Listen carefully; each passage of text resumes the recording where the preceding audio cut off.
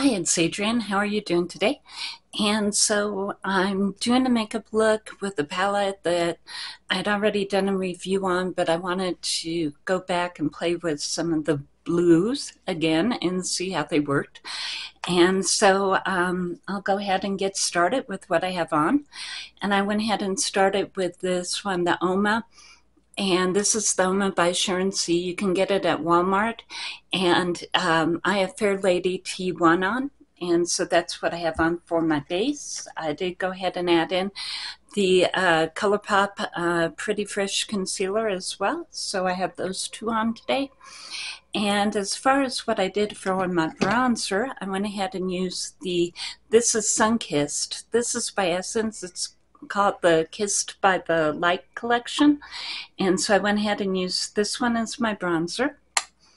And um, then I went ahead and used Sounds Grape as um, my cream blush and what I've been doing lately is going ahead and using a cream blush and then putting a powder blush over top of it um, because my blush all fades off before I even get a full face of makeup on and so I'm trying to figure out how to get that not to happen. So um, did use Sounds Grape and then this one is Sunkissed by Essence that I put on the top of it and um, so that's what I went ahead and did there. And then I did use some of the Flexitarian highlighter. Actually, I used two highlighters. So um, went ahead and used the, uh, this one's from Charlotte Tilbury. It's in their holiday um, holiday gift uh, set and uh, this one is going to be Pink Pinkgasm so I have some of that on and then I did go ahead and put some Flexitarian by ColourPop on as well. So these are the two highlighters that I have on. And um, as far as what else I have on my face, um, let's see. Okay, well, we'll do the easy stuff first. So did go ahead and use the Sky High um, mascara by Maybelline and the Essence, um, this is Curl and Volume. So I have these two on as far as that goes. And I did use the ColourPop gel eyeliner. Uh, this one's in blue. And I'm trying to think what else I did here. Mm, well, as far as the palette that I wanted to play with again, it's a Star Wars palette. And um, these particular uh, shadows are a lot creamier formula than the normal um, ColourPop formula. So I wanted to go ahead and play with it again. Um, I went ahead and put this on the inner corner and right under the brow. And then I put this one on the lid itself, this one in the outer corner. And I did this all on a dry lid. So I didn't have any foundation, I didn't have any concealer, and I didn't have any primer on my lid. And um, went ahead and did a dry lid because when I used these shadows uh, with uh, my regular, I just put concealer on and then uh, that usually grips my shadows. But with this particular palette, it didn't work the first time. So this is how the eye look came out the second time. And this is again on the dry lid. So I think it would actually hold up. And um, it is really pretty. I do like it. Um, this particular blue is the darker blue that you see. And I didn't use any of this color at all. So um, these two are basically the different colors of blue that you have in there.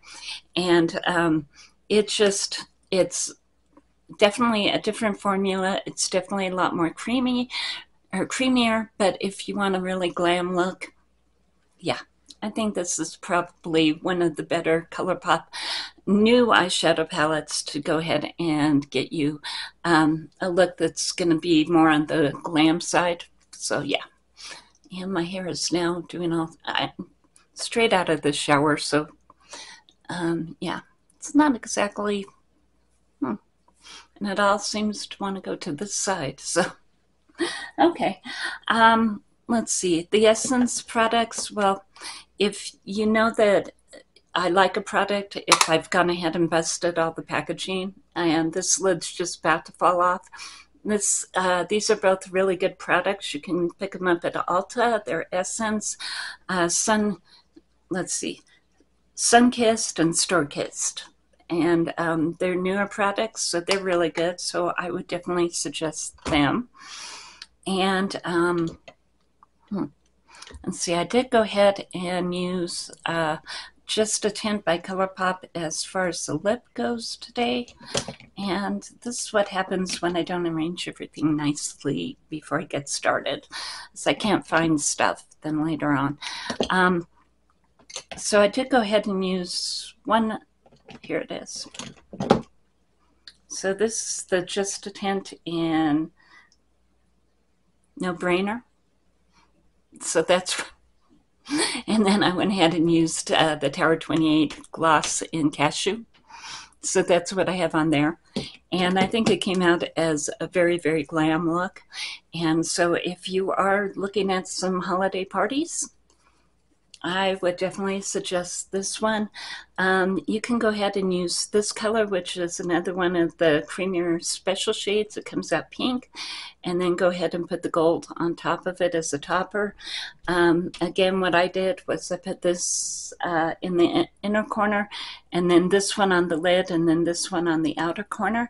Um, so yeah, and I think I'll go ahead and put some of this pretty this is a duochrome. And let's see if we can get some of that like right under the, yeah. Well, that's not doing a lot. But anyway, um, definitely a very glam palette and definitely one that I wouldn't, it's very tempting with this, especially with how beautifully they did this with the poster art to go ahead and put this in a box and not get it out again, you know, and do the whole collector thing. And no, I'm not doing that. I think it's too pretty. I'm going to go ahead and use it. And I hope you like some of my Christmas decorations that I got up. Um, not a lot, you know, enough to be festive. I wanted to make sure that they at least got in a video because I like seeing them every time I come into this room, but um, usually I'm a little bit more at an angle, and so you never get to see them. And so I thought, yeah, let's go ahead and make sure everybody can see them. And I think that's just about everything that I had on my face today. Yep, that's about all. And um, thank you and have a great day. Bye.